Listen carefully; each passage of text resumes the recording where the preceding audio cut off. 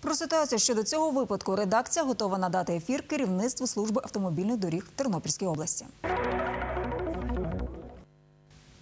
А через складні погодні умови міські тротуари і вулиці перетворилися на суцільну ковзанку. Вночі йшов дощ, а вдень вулиці покрилися крижаною кіркою. Тернополяни скаржаться на непосипані тротуари.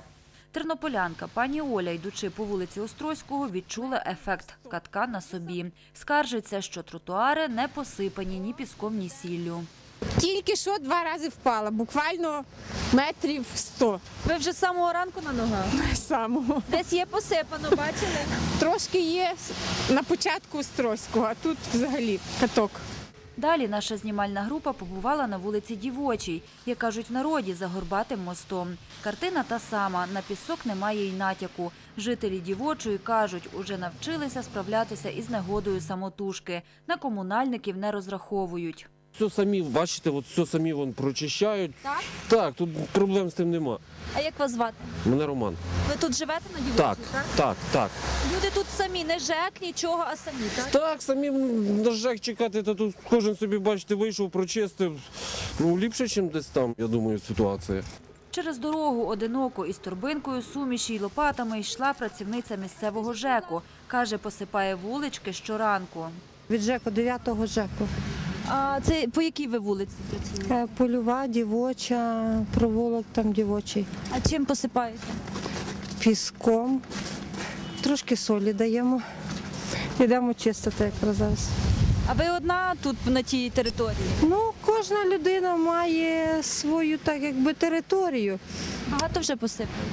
Та трошки ще навіть не встигаю, бо якщо людина сама, то треба багато. Вистачає вам піску?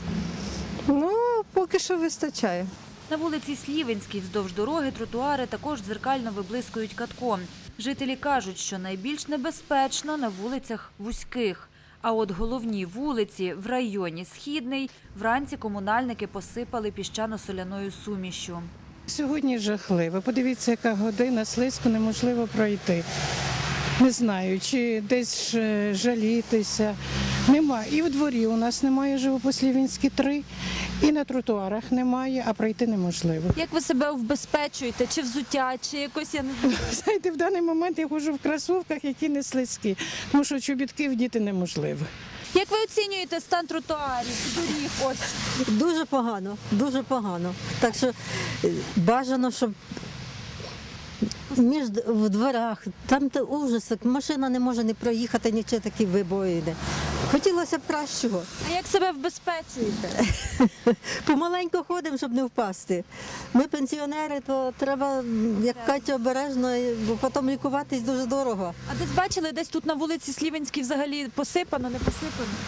Ну, з тої сторони я йшла, то, то є посипано. А з цієї А з цієї я йду сюди, то ще не бачила, щоб було посипано. Перехожі жартують, завдяки старанням комунальних служб міста відкрилася нова безкоштовна ковзанка. Повозитися на ній вимушений кожен. Щоб не травмуватись, тернопільські панянки залишають вдома високі підбори. Ужасному стані, дуже погані.